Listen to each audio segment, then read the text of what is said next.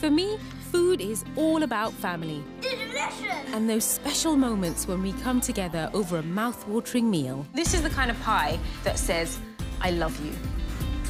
I want to share some of my yummy family favourites, dishes for every kind of day. But like any busy family, no two days are ever the same in my house. It smells incredible in here. So I love having a range of quick and easy ideas ready for any occasion. Okay, okay, I'm stuck. Each week, I'm going to share simple and delicious recipes for different kinds of family days, from manic weekdays to wind down weekends. Yep, I'm gonna add all of it. And I don't feel a pang of guilt. I'll be exploring the everyday ingredients we all have in our cupboards Oh my God.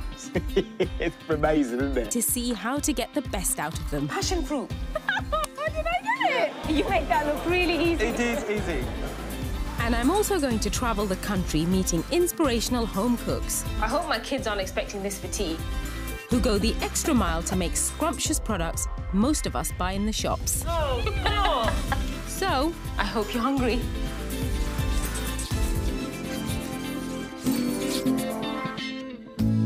we all have those days when the cupboards look bare, but it's just too easy to keep going to the shops and buying more. I don't love shopping, so if I can avoid the supermarket and eke out what I've got in the house for one last day, it makes me really happy. Makes me feel like supermom.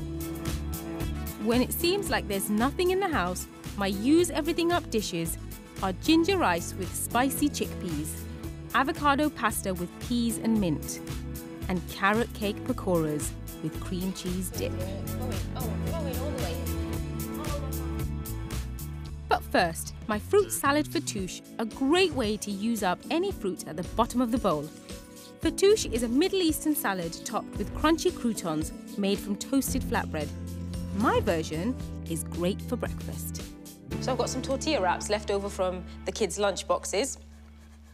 Now you can make these as big or as small as you like, but I like a little bit of that crunch with every mouthful.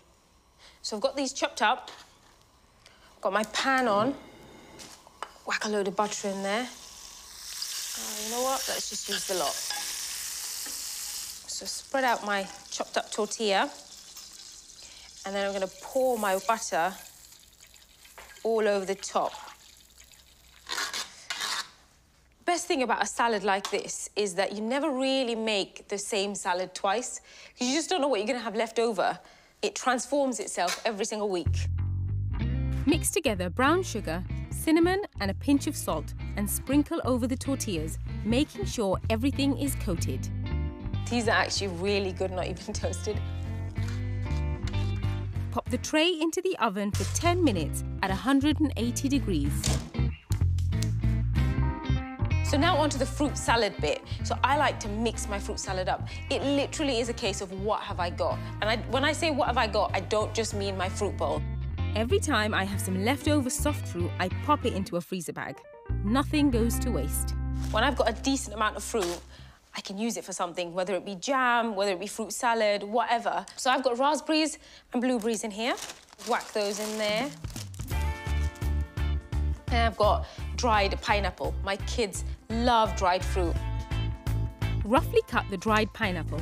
I use scissors, much easier than a knife. And I'm adding my dried fruit next because I've got the moisture from the frozen fruit as it's defrosting. It's gonna start rehydrating that pineapple.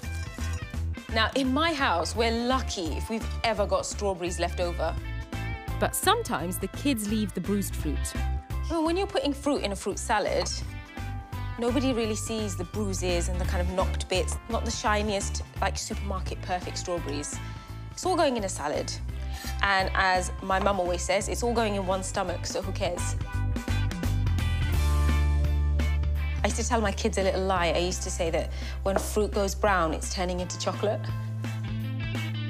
Any fruit that has seen better days can go in. Because I don't have any apples or bananas or fruit that's going to go really brown in here, this can sit in the fridge. And I think that the longer it sits in the fridge and the more those juices come out, the tastier it becomes. Some overripe passion fruit and a sad, lonely orange are a perfect addition. They were not making that sound before. That is the sound that says they're ready. These will keep for a couple of weeks.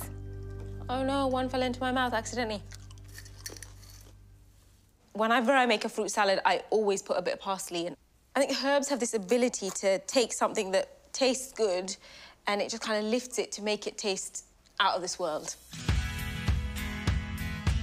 Finally, add some sunflower seeds before mixing it all together. There's no need to be gentle. I'm just kind of with my spoon going in, and the more you kind of toss it around and move it around and bruise the outer edges of the fruit, the more juices that you get. And that's it, that's done. I wish you could smell this. It smells like a perfume. It's, mm. But it's not a fattoush yet, not till I've put my fattoushi bits on.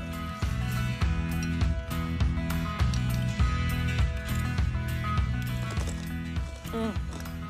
My husband always tells me that I make something out of nothing. Sometimes it just works out. Fruit salad fattoush. It's a little bit of magic conjured from nothing.